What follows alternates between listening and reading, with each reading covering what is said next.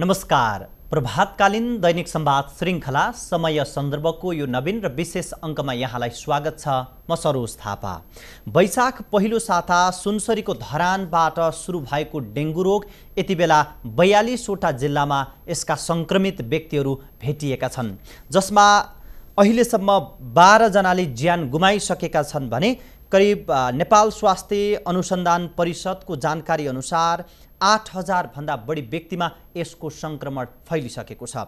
साथै देशको सम्पूर्ण जनसङ्ख्याको आधारमा हेर्दाखेरि करिब सतासी प्रतिशत जनसङ्ख्या अझै पनि डेङ्गु रोगको प्रभावको खतरामा रहेको भनेर तथ्याङ्कले देखाएको छ। र सँगै स्वास्थ्य मन्त्रालयले पनि मन्त्रालयले मात्रै यो डेङ्गु रोगलाई नियन्त्रण गर्न र समाधान गर्न नसक्ने भनेर आम रूपमा सरकार र सम्पूर्ण सर्वसाधारणहरूलाई पनि यसमा सहयोग गर्नका लागि आह्वान गरेको छ। साँच्ची डेङ्गु रोग के हो यसको सङ्क्रमण कसरी फैलिन्छ र हामी जसरी डेङ्गु रोगबाट यी बाह्रजना व्यक्तिको ज्यान गएको छ भनेर भनिराखेका छौँ साँच्ची डेङ्गु रोगकै कारणले गर्दा ती व्यक्तिहरूको ज्यान गएको हो वा अरू पनि कारण हुन सक्छन्। डेङ्गु लाग्दैमा मच्छरले टोक्दैमा त्यसले हामीलाई घाटा मात्रै पुर्याउँछ वा सँगसँगै त्यसले अरू हामीलाई दिने फाइदा पनि हुन्छ अथवा नेपालमा यो डेङ्गु रोगको सङ्क्रमण कहिलेबाट सुरु भयो कसरी सुरु भयो यसको प्रभाव कस्तो छ र सरकारले कसरी काम गरिरहेको छ भन्ने विषयमा केन्द्रित रहेर हामी संवाद गर्दैछौँ। हामीसँग छलफलका लागि सरुवा तथा सङ्क्रामक रोग अनुसन्धान र सूक्ष्म जीव प्रयोगशाला विशेषज्ञ त्रिवी शिक्षा अस्पताल चिकित्सा शास्त्र अध्ययन संस्थानका प्राध्यापक डाक्टर जीवन बहादुर शेरचन हुनुहुन्छ। स्वागत छ यहाँलाई। धन्यवाद। उन्नाइस सय पचासमा फिलिपिन्सबाट सुरु भएको डेङ्गु रोग अहिले संसारभरका करिब एक सय अठाइसवटा देशमा यसका सङ्क्रमित व्यक्तिहरू छन्। र संसारभरिको कुरा गर्ने हो भने डेङ्गुबाट करिब नाइन्टी सिक्स मिलियन व्यक्तिहरूले ज्यान गुमाइसक्नु भएको छ। फोर हन्ड्रेड मिलियन व्यक्तिहरू प्रत्यक्ष रूपमा प्रभावित भइसक्नु भएको छ र फोर बिलियन चाहिँ प्रभावित हुन सक्ने खतरामा हुनुहुन्छ भनेर डब्लुएचओको तथ्याङ्कले भन्छ। तर नेपालमा चाहिँ यो डेङ्गु रोग कहिलेबाट सुरु भयो यसको यो डेङ्गुको लक्षण हो र नेपालमा पनि मच्छरले टोकिसके पछाडि डेङ्गु लाग्छ भन्ने त्यो सुरुवात चाहिँ कहिलेबाट भयो? एक्ज्याक्टली थ्याङ्क यू यो वास्तवमा चाहिँ हाम्रो नेपालमा डेङ्गी भाइरस चाहिँ सदियौँदेखि नै सुरु भएको थियो तर त्यो चाहिँ आइडेन्टिफाई गर्न नसकिएको हो किनभने नेपालमा सदियौँ कालदेखि मच्छर त छ। अब खास गरेर चाहिँ यो नाइन्टिन नाइन्टी नाइनमा उन्नाइस सय सन् उन्नाइस सय उनान्सयमा जब चाहिँ नेपालमा यो जापानिज इन्सेफेलाइटिसको हाई आउटब्रेक भएको थियो हताहत भएर खास गरेर चाहिँ हाम्रो चाहिँ फार वेस्टर्न नेपालमा बाँके कैलाली कञ्चनपुर त्यसपछि तपाईँको इस्टर्न नेपालमा चाहिँ सुनसरी अनि त्यस चितवन साइडतिर धेरै ठाउँमा चाहिँ यो जापानिज इन्सिफेलाइ इन्सिफेलाइटिसले चाहिँ धेरै मानिसहरूको मृत्यु त्यो बेलामा more than four hundred cases चाहिँ मृत्यु भएको चाहिँ हामीले चाहिँ आँकडा त्यो बेला म नेपाल हेल्थ रिसर्च काउन्सिलमा काम गर्दाखेरि उन्नाइस सय उनान्सय उनान्सय ताका। र त्यो बेलामा हामीले के भने अचानक चाहिँ त्यो बेला दिल्लीमा पनि डेङ्गी देखिएको हामीले सूचना पायौँ र नेपालमा चाहिँ सायद डेङ्गीले पनि सायद मान्छेलाई प्रभावित पारिरहे पारिरहेको छ कि अथवा डेङ्गीको कारणले पनि मान्छेलाई मान्छेको मृत्यु भइरहेको हो कि जापानिज इन्सेफेलाइटिस मात्र होइन होला भन्ने हाम्रो किनभने त्यही प्रजाति जुन जुन लामखुट्टे हो त्यही लामखुट्टेको प्रजातिले नै डेङ्गी पनि गर्छ जापानिज इन्सेफेलाइटिस पनि गर्छ येल्लो फिभर पनि गर्छ चिकन गुनिया पनि गर्छ र जिका भाइरस पनि सङ्क्रमित गर्ने भएको हुनाले हामीले डेङ्गीको चाहिँ त्यो बेलामा परीक्षण गर्दाखेरि टुवेल्भ पोइन्ट फाइभ पर्सेन्ट बाह्र साढे बाह्र प्र- प्रतिशत मानिसलाई त्यो बेलामा डेङ्गी भाइरल इन्फेक्सन भएको देखिएको थियो नाइन्टिन नाइन्टी नाइनमै। र जुन चाहिँ हामीले टु थाउजन्ड वानमा जर्नल इन्स्टिच्युट अफ मेडिसिनमा चाहिँ हामीले प्रकाशित पनि गऱ्यौँ र इन्टरनेसनल फिल्डमा पनि हामीले त्यसलाई प्रेजेन्टेसन पेपरहरू प्रेजेन्ट पनि गरेको थियौँ र गभर्मेन्ट अफ नेपाल स्वास्थ्य मन्त्रालयमा गएर यो आँकडा चाहिँ हामीले यस्तो छ भनेर हामीले त्यो बेलामा चाहिँ रिपोर्ट चाहिँ प्रतिवेदन पेस पनि गरेका थियौँ। यो मैले कतिपय ठाउँमा सुने पनि छु। नेपालमा लामखुट्टे राष्ट्रियतासँग पनि जोडिएको छ। हाम्रो राष्ट्रिय स्वाधीनतालाई बचाउनका लागि लामखुट्टेले ठुलो भूमिका खेलेको छ। भनेर पनि भन्छन्। जसरी अङ्ग्रेजसँग नेपाल लड्दै थियो त्यो बेला मच्छेटले खेलेको भूमिका हाम्रो राष्ट्रियता जोगाउनका लागि र अहिलेको नेपाल रहनका लागि चाहिँ ठुलो भूमिका छन् भनेर भन्छन्। तपाईँ त पुरानो व्यक्ति पनि यो विषयमा अलिकति स्मरण गराइदिनुहोस् न। एक्ज्याक्टली यो एकदम यो बडा चाहिँ एकदम यो चा- चाखलाग्दो हिस्ट्री हो हाम्रो देशको कन्ट्रीमा जुन बेलामा चाहिँ भारतमा इस्ट इन्डिज कम्पनीहरूले तपाईँको राज्य गरिरहेको थियो अङ्ग्रेज सरकारको राज्य थियो हुकुमत थियो। त्यो बेलामा चाहिँ तपाईँको हाम्रो हामी हाम्रो देश उत्तरी भागमा पर्थ्यो र अङ्ग्रेजहरूको आँखा त डेफिनेटली हाम्रो नेपालको सौन्दर्य एकदम हिमालको हिमा देशलाई चाहिँ उनीहरूको आँखा गाडिरहेको थियो। र त्यो बेलाको चाहिँ इस्ट इन्डिज कम्पनीको चाहिँ प्रमुख जेम्स विलियम भन्ने जुन जुन चाहिँ थिए। उहाँको ट्रुपले चाहिँ नेपालमा आँखा गाडिसकेपछि नेपाललाई पनि एट्याक गर्नुपर्छ भनेर त्यो बेलामा चाहिँ जब उहाँले नेपालतिर चाहिँ आउनुभयो हाम्रो नेपालको चारकोसी झाडी चितवनमा जुन अहिले अब त अहिले त चारकोसी झाडी त धेरै किसिमले मासियो त्यो बेलामा यस्तै किसिमको प्रजातिका मच्छरहरू थिए कि लामखुट्टेहरू थिए कि जसले गर्दाखेरि अङ्ग्रेजको ट्रुपहरू त्यहाँबाट पस्न नपाउँदै सीमा क्रस गर्न नपाउँदै भक्काभक तपाईँको चाहिँ औलो लागेर फिभर ज्वरो आउने तपाईँको त्यहाँको सबभन्दा ज मेजर जर्नल प्रमुख जुन ट्रुपको प्रमुखलाई पनि पनि तपाईँको हाई ग्रेड अफ फिभर भएर उसलाई तुरुन्तै इङ्ल्यान्डमा लगेर चाहिँ उपचार गर्नुपर्ने स्थिति आएर उनीहरू त्यहाँबाट पछि हटेर ओहो यो हिमालय भएको कन्ट्रीमा चाहिँ हामी जान नसकिँदो रहेछ यसलाई पछि विचार गर्नुपर्छ भनेर फर्काएर देशलाई अङ्ग्रेजको सत्ताबाट पनि बचाएको पनि इतिहास छ क्या मस्किटो लामखुट्टेले गर्दाखेरि। त्यति बेला हाम्रो राष्ट्रिय स्वाधीनतालाई जोगाउन संसारभरिका धेरै देशहरू चाहिँ आफ्नो स्वाधीनता गुमाइराखेको बेलामा हामी राष्ट्रियता बचाउनका लागि सहयोग गर्ने लामखुट्टे अहिलेसम्म आइपुग्दाखेरि हामीलाई यति अहिलेकै परिप्रेक्ष्यमा यो वैशाखबाट अहिलेसम्म बाह्रजनाको ज्यान लैसक्यो। यो अभिशाप चाहिँ किन बनिरहेको छ होइन वास्तवमा चाहिँ के छ भने यो चाहिँ हामी मा यो म्यानमेड डिज भन्छौँ हामी। हामी मानिसले गर्दाखेरि नम्बर वान अरू कुरो के भयो भनेदेखि यो इन्भाइरोमेन्टको ग्लोबल चेन्जले गर्दाखेरि होइन अब संसारमा के हुन्छ भनेदेखि हाम्रो चाहिँ जनसङ्ख्याको घनत्व वृद्धि हुँदै गइरहेको छ र त्यसपछि ग्लोबल चेन्जहरू पनि भइरहेको छ र यो मस्किटो चाहिँ को चाहिँ धेरै किसिमको चाहिँ मस्किटोले गर्ने रोगहरू छ नेपालमा। पहिलेदेखि नै थियो। नम्बर वान त औलोले हो। नेपालमा भयावह भएको। तर औलोको चाहिँ यति किसिमबाट चाहिँ कन्ट्रोल भयो कि अहिले औलो लागेको मानिस एकदम विरलै करिब सुनिन्न खासै। सुनिँदैन खासमा। स्पेसली त्यो पनि माइग्रेटेड बाहिर गएर काम गरेर आएको मानिसहरूमा मात्र परीक्षण गर्दाखेरि औलो छ भन्ने कुरो सुनिन्छ। त्यस्तै अब यो चाहिँ खासमा यो जुन अहिले भइरहेको भाइरस इन्फेक्सन छ यो बाह्र प्रतिशतमा बाह्रजना मान्छेको जुन मृत्यु भएको छ एक्चुली चाहिँ यो भाइरसले तुरुन्तै मान्छे त मार्दैन मान्छे मरि नै हाल्दैन। तर कस्तो छ भने यसले केटाकेटी र बुढोलाई चाहिँ इन्फेक्सन बढी गर्ने किनभने बुढापाकाहरूको चाहिँ इम्युनिटी कम हुने। र साथसाथै अरू रोगले पनि ग्रसित हुने र त्यो अरू रोगले ग्रसित भएको बेलामा यो यो जुन चाहिँ डेङ्गी भाइरलको पनि इन्फेक्सन भयो भने त्यसको इम्युन सिस्टमलाई डिक्रिज गराइदिने। ठिक छ। तपाईँ सरुवा रोग विशेषज्ञ पनि हुनुहुन्छ र नेपालमा यो क्षेत्रमा लामो समयदेखि योगदान पनि पुर्याइराख्नु भएको छ। जसरी हामी आठ हजारजनामा यसको सङ्क्रमण फैलिया छ र बाह्रजनाको निधन छ भनेर भनिराखेका छौँ। नेपालमा स्रोत साधन दक्ष जनशक्ति यी सबैको कारणले गर्दाखेरि ती बाह्रजना व्यक्तिहरूको ज्यान डेङ्गुकै कारणले गर्दा गएको हो भन्न सक्ने सिचुएसनमा हामी छौँ कि छैनौँ? एक्ज्याक्टली अब वास्तवमा साँच्चै भन्नु भनेदेखि हामी तपाईँ आफै नै भन्नुहुन्छ डेङ्गुले मान्छेको ज्यान जाँदैन भनेर तपाईँ हो। तर कस्तो छ भने यो बाह्रजना जुन डेङ्गीबाट डेङ्गी सँग सँगसँगै अरू रोग पनि लागेर मृत्यु भएको हो खासमा तर यसको चाहिँ एक्ज्याक्टली सिस्टमेटिक सर्भिलेन्स नेपालमा भएको छैन के? नेपालमा हामीसँग साधन स्रोत त छ तर हामीले त्यसलाई परिचालन गरिरहेका छैनौँ।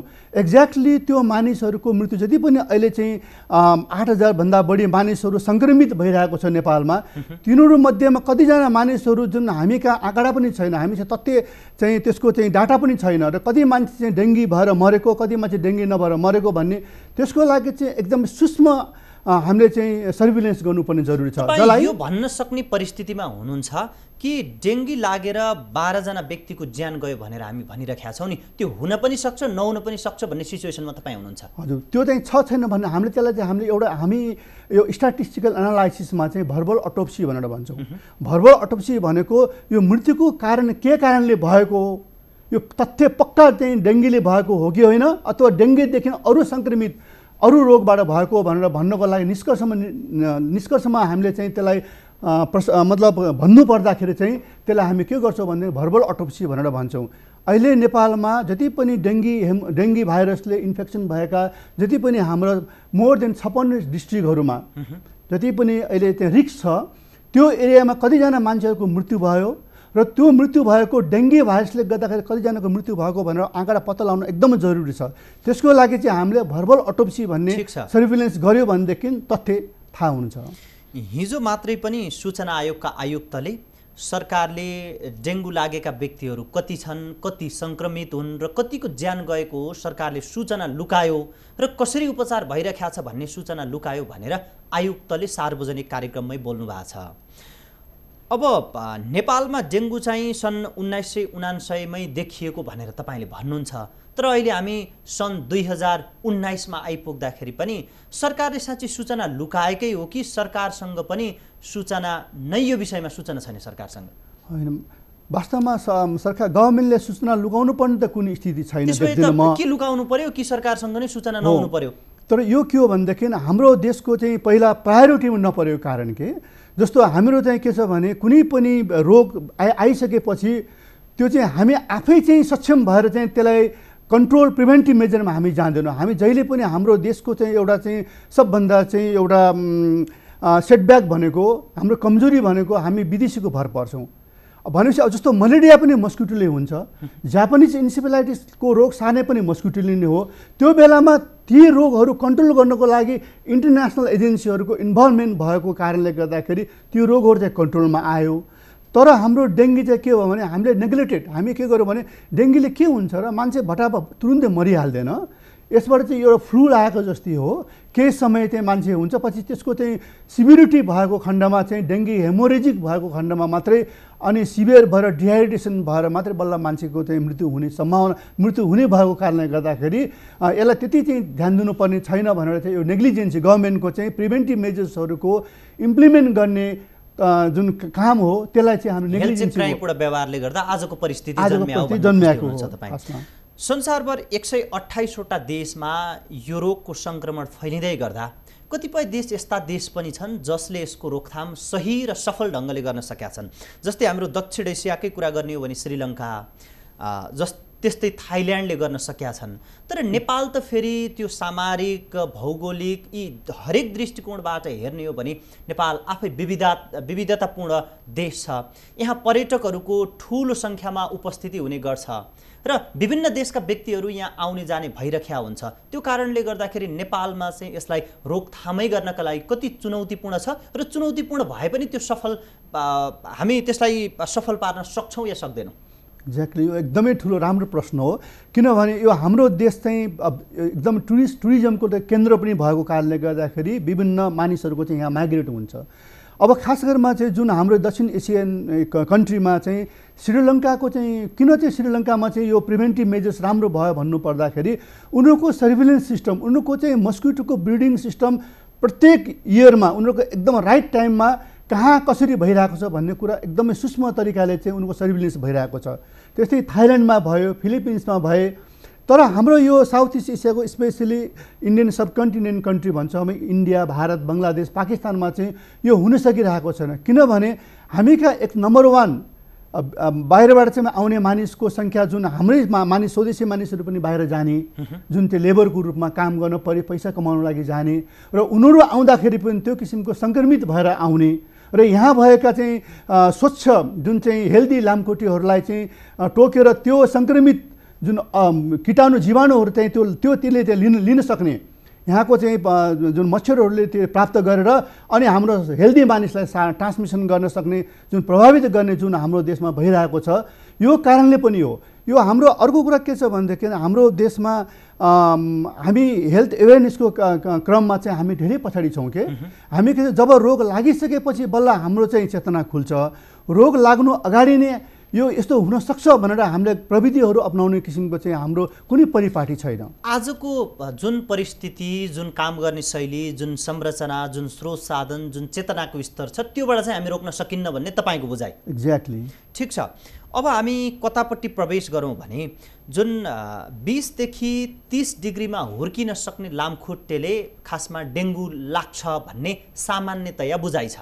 तर त्यो बिसदेखि तिस डिग्रीको तापक्रममा हुर्किन सक्ने लामखुट्टेहरू नेपालका अहिले पहाडी र उच्च पहाडी ठाउँहरूमा पनि हुर्किन सके बाँच्न सके र सबैभन्दा ठुलो सङ्क्रमण अझै तराई क्षेत्रमा भने यसको चेतनाको विकास भइसकेको अझै सुरक्षा सावधानी चाहिँ अलि बढी अपनाएको तर पहाडी र उच्च पहाडी ठाउँमा भने यसको अझै बढी सङ्क्रमण हुने सम्भावना देखिन्छ भनेर कतिपय जानकारहरूले भनिरहनु भएको छ। यस्तो परिस्थिति चाहिँ किन आयो? तपाईँ त अलिक पुरानो व्यक्ति पनि। तपाईँहरूले जान्दा यो बिसदेखि तिस डिग्रीको तापक्रममा हुर्किन सक्ने लामखुट्टे पहाडी र उच्च पहाडी ठाउँमा पनि हुर्किन्थ्यो? हो। अब वास्तवमा चाहिँ पहिला चाहिँ त्यो ठाउँमा चाहिँ लामखुट्टेको प्रवेश गर्दाखेरि लामखुट्टेहरू चिसोले गर्दाखेरि हुर्किन सक्थेन उनीहरूको मृत्यु हुन्थ्यो लामखुट्टे बाँच्न सक्थेन र त्यहाँ ब्रिडिङ पनि हुन्थेन। तर अब अहिले के भयो भने यो यो ग्लोबल वार्मिङले गर्दाखेरि यो पहाडी मुलुक पनि के छ भने ग्लोबल प्रत्येक वर्षमा चाहिँ zero point zero four degree Celsius चाहिँ तापक्रम बढिरहेको छ कि? अहिले ग्लोबल वार्मिङले गर्दाखेरि। त्यो तापक्रम गर्ने बढ्ने सिलसिलामा र त्यस्तै के भयो भनेदेखि त्यहाँ पनि तापक्रमको उच्च तापक्रम चाहिँ बढी भयो वृद्धि हुँदै जाने। र अर्को के छ भनेदेखि हिमाली भागहरूमा टुरिज्मको सेन्टर बाहिरबाट आउने मानिसहरूको माइग्रेसन त्यहाँ घुम्न जाने फिर्न जाने होइन? अब त्यसले गर्दाखेरि के अब त्यहाँको मानिसहरू पनि फेरि पाहाडको मानिसहरू पनि लेबरको रूपमा भारतमा जाने जोखिम देशहरू जस्तो तपाईँको चाहिँ अब अरू जोखिम देशहरू जहाँ जहाँ चाहिँ यो डेङ्गी भाइरल इन्फेक्सन छ त्यो ठाउँमा गएर काम गर्न जाने र उनीहरू फर्किँदाखेरि सङ्क्रमित भएर आउने र त्यहाँ भएका चाहिँ हेल्दी लामखुट्टेहरूले तिनीहरूलाई टोकेर र त्यहाँ भएका चाहिँ हेल्दी मानिसलाई पनि तपाईँको चाहिँ त्यो डेङ्गी भाइरल सार्ने र प्लस त्यो लामखुट्टेहरू त्यहाँको तापक्रममा पहिला चाहिँ उनीहरू बिसदेखि तिस डिग्री सेल्सियसमा बाँच्न सक्थ्यो भने अहिले उनीहरूले त्यो तापक्रममा पनि एडप्ट गर्न सक्ने पन्ध्र डिग्री सेल्सियसमा बाँच्न सक्ने भइसकेको छ अहिले। पन्ध्र अब त झन् भइसके पछाडि अब हाम्रो हिमाली क्षेत्रमा पनि लामखुट्टे देख्न पाइन्छ र टोक्छन् यिनले एकदमै एक्ज्याक्टली किनभने पन्ध्र डिग्रीभन्दा तल भन्दा छ भनेदेखि चाहिँ तिनीहरू चाहिँ एकदमै सुसुप्त अवस्थामा हुन्छ। उनीहरू बाँच्न सक्दैन इजिली। तर चाहिँ पन्ध्र डिग्रीसम्म चाहिँ खास गरेर अब अहिले चाहिँ र त्यसमा पनि पहिला चाहिँ बिस डिग्रीभन्दा कम भएकोमा चाहिँ बाँच्न सक्ने अब टेम्परेचर ग्लोबल वार्मिङले गर्दाखेरि टेम्परेचर राइजको कारणले गर्दाखेरि उनीहरूले पनि त्यो ठाउँमा गएर बस्न सक्ने वातावरण बनाएको छ। तर सर अब त नेपाल त यस्तो देश। जहाँ बर्सातको समय हुन्छ जाडोको समय हुन्छ विभिन्न खाले मौसमहरू यहाँ बदलिरहन्छन्। जस अनुरूप अब त जाडो महिना आउँदैछ अर्थात् जाडो मौसम आउँदैछ भनिसके पछाडि त जाडो महिनामा लामखुट्टेले टोक्न सक्दैन भनिसके पछाडि प्रकृतिले नै डेङ्गुलाई रोकिदिन सक्ने सम्भावना पनि देखिन्छ नि होइन? एक्ज्याक्टली अब प्रकृतिले त्यही त पहिला चाहिँ के हुन्थ्यो भने यो खास गरेर पोस्ट मनसुनमा यो डेङ्गु यो चाहिँ मस्किटोको ब्रिडिङ हुने टाइम हो क्या एक्चुली। त्यसले जसले गर्दाखेरि डेङ्गु भाइरल इन्फेक्सन हुने जापानिज इन्सेफेलाइटिस हुने मलेरिया हुने अरू जति पनि छ मस्किटो भेक्टर बर्न डिजिज भन्छौँ यसलाई त्यो हुने चाहिँ तर अहिले के हो भने बर्सात पनि धेरै अगाडि सुरु भयो।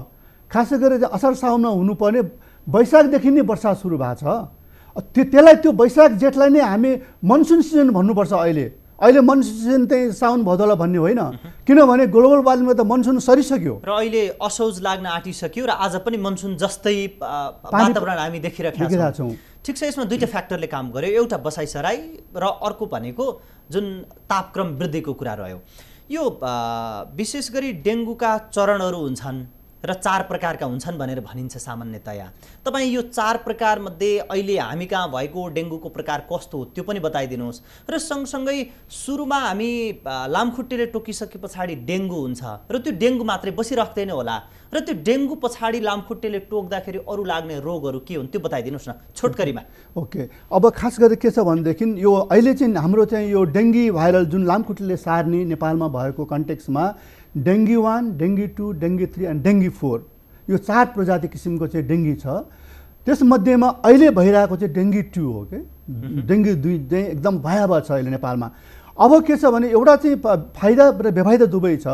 अहिले हामी हाम्रो नेपालको कन्टेक्समा चाहिँ डेङ्गी टूले सङ्क्रमित भइरहेको मानिसहरू एउटा फाइदा के छ भने डेङ्गी टूले एक्चुली ग्रसित भइसकेपछि त्यो लाइफ लङ चाहिँ इम्युनिटी क्रिएट हुन्छ हेर्नुहोस्। एउटा राम्रो पक्ष त्यो पनि छ। त्यसले चाहिँ हाम्रो शरीरमा प्रतिरोधात्मक अरू भाइरल इन्फेक्सनबाट हुने तपाईँले यो भन्न खोज्दै हुनुहुन्छ यदि कुनै पनि व्यक्तिलाई लामखुट्टेले टोकेर डेङ्गु लाग्यो अहिले हामी डेङ्गु लाग्यो भनेर भनिरहेको यदि त्यो लाग्यो भने अहिले तत्कालको रूपमा चाहिँ उसलाई समस्या भए पनि उसको जुन इम्युनिटी पावर प्रतिरोधात्मक क्षमता। चाहिँ वृद्धि हुन्छ भन्न खोज्नु भयो एक्ज्याक्टली भनेको डेङ्गुले त लाग्दा नकारात्मक कुरा समस्या मात्र होइन यसले सँगसँगै राम्रा कुरा पनि त बोकेर आउँदो रहेछ नि त एक्ज्याक्टली हो नि। किनभने यो एक किसिमको भ्याक्सिन पनि दियो के उसले? अब अब डेङ्गी वान अब के छ भने हाम्रो नेपालको कन्टेक्समा डाक्टर साहब मैले तर- हाम्रो जुन दर्शकहरूलाई पनि एउटा कुरा जानकारी गराएँ। प्रसङ्ग आइहाल्यो। करिब दोस्रो विश्वयुद्ध पछाडि अमेरिकाले एउटा कृषिमा क्रान्ति भनेर हरित क्रान्ति भन्ने एउटा उसले आफ्नो एजेन्डा अगाडि बढायो र त्यो संसारभरि नै स्थापित भयो।